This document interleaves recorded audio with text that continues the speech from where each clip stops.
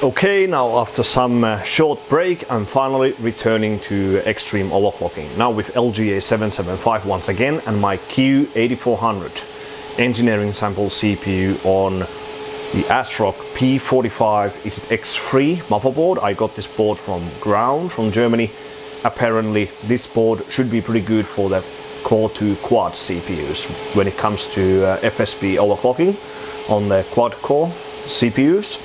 So as I don't have that much LN2 remaining and my X58 CPU binning kind of failed, I will be trying this CPU model quickly on this motherboard model.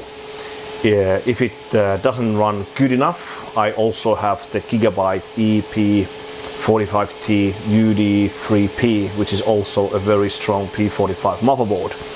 So uh, just overall for the 2D tests, W prime, Pi fast, Super Pi validation. Uh, I got some uh, memory posting issues, but now it seems to run. So two sticks of Corsair Dominator GT 2000 Cas7 over there. Kingpin Cooling F1 Dark CPU container with the pink thermal paste from uh, Thermal Grizzly and Seasonic Prime 1300 watt platinum. So uh, let's see how this goes. I've never run this motherboard before. So uh, I just want to see how it goes. The temperature range on this CPU model isn't very cold, only like dry ice level, minus 60, minus 70, something like this. So uh, let's give this one a go and hope we could actually improve from where we left last time with Rampage Extreme. Because X48 really doesn't seem strong for the Core 2 Quad CPU models.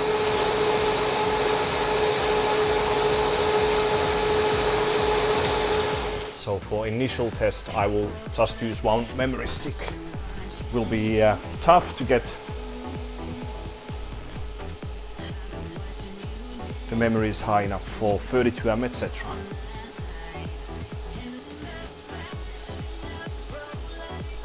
Okay, that should be, it's actually a new record already. 8.284, 8.281. So yeah, top score with just one attempt Q8400 engineering sample at 4.4 gigahertz on FSB very strong memory. Maybe this board is not the best but we'll see. I want to try to get this higher. The previous one was just a tiny bit slower. Minus 70 at the moment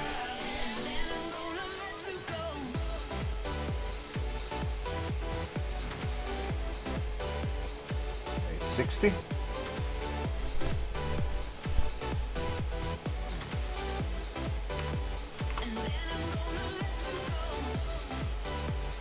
Eight sixty.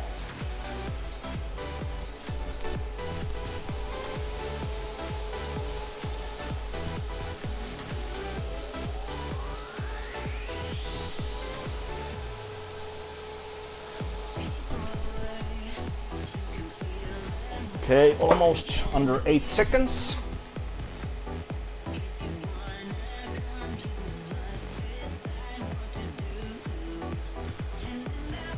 So W primes we should be able to get pretty easily.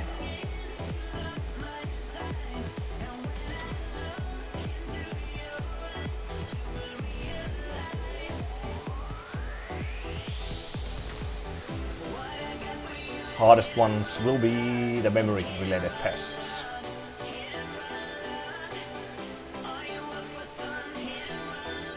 Yeah, the CPU is definitely good.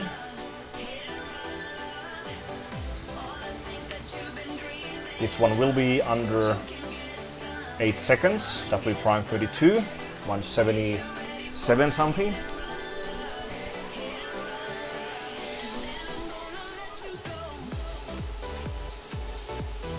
7.969. The previous one was 8.284 by Electron Liber from, uh, from France. yeah, pretty strong. I want to see what's the max validation as well. I knew the CPU would be good when I first tested this one on the Rampage Extreme.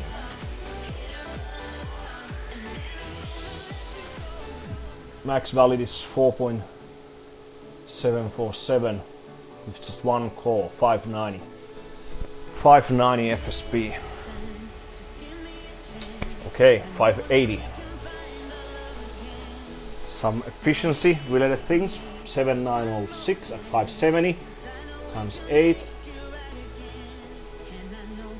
Double check this before we try 1024M. 1024 amp should be easy as we have much better efficiency than the French guy.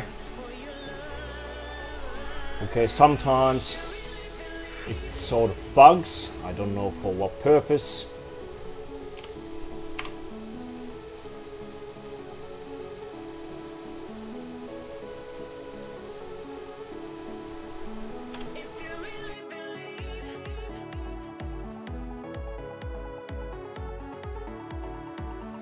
Okay, I'm still not fully sure about the efficiency, but this is uh, definitely the new top score with the Q8400 at 4.6 gigahertz.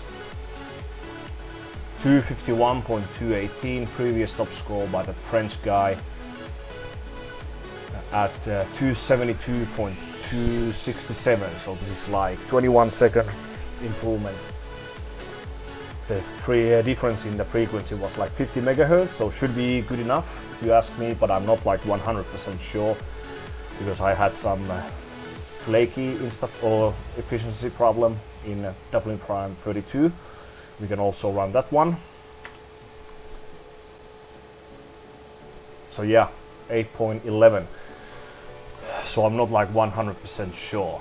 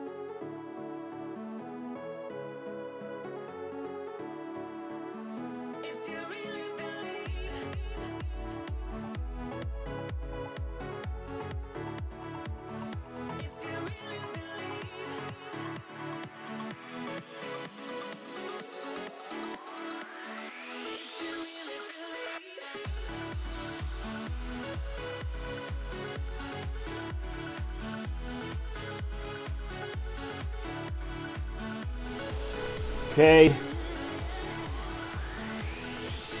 10.078, almost half a second faster.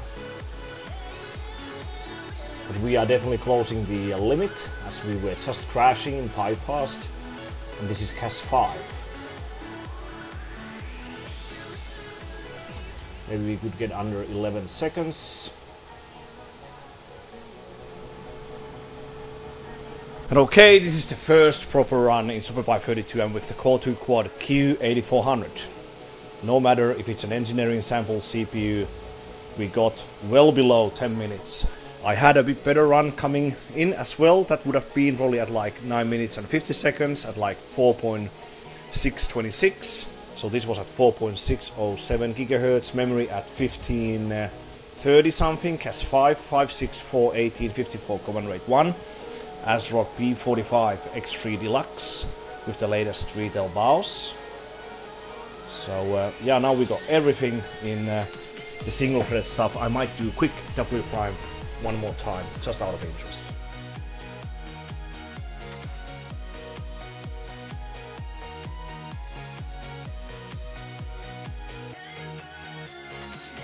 Okay, so I actually tried the Gigabyte EP45T UD3P, but it didn't really seem that good, to be honest, with the CPU model. I couldn't get any higher on the FSB.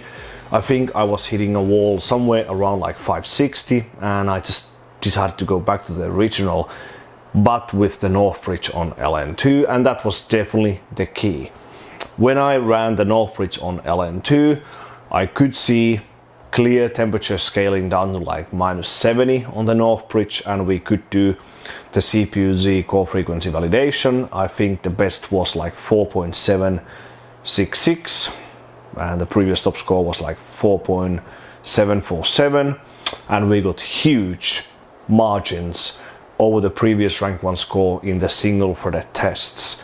Only the W prime was definitely alright with uh, the North Bridge on uh, ambient cooling and a single memory stick or a single memory channel. I couldn't get any uh, like clear advantage now with Northbridge on LN2 when I quickly tried the W primes as well. Sadly, my server 2003 just died, so I cannot run anymore. I still have like a few liters of LN2 remaining, but nonetheless, we got all the scores we were looking for. As I've had this CPU model, the Q8400, the engineering sample CPU lying around here on my tables for maybe two years, something like this. So uh, it was awesome to get those scores back and, the, and to actually get the CPU thoroughly tested. But anyway, so 1M we got down to like 11.074 I think. First 11.188 and then under 11.1 so we got like a half second improvement over the previous rank 1 score made by some French guy I think.